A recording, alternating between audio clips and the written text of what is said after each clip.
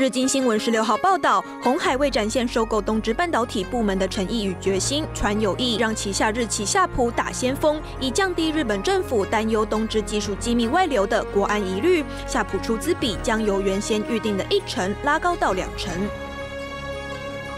中国加强资本管制措施奏效，人民币汇率趋稳，走资情况已受控。中国政府也不用再大手抛售美债，维持人民币稳定。美国财政部披露，中国最近连续两个月增持美债，三月份中国大幅增持两百七十九亿美元，增持规模为二零一五年三月以来最大。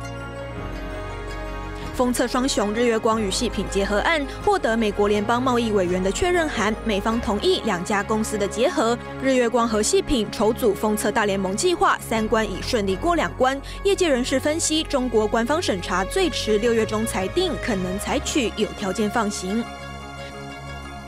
台股破万点，内外资助攻交易量，资金涌入，首季获利冲高，营运前景看好的低量股带动相关个股股价爆量大涨。